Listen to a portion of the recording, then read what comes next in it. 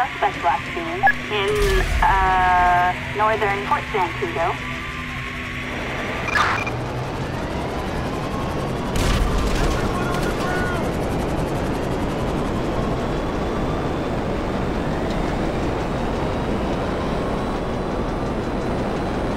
You are in the Fort Zancudo no-fly zone. Divert or you will be shot down. airborne and headed to the scene.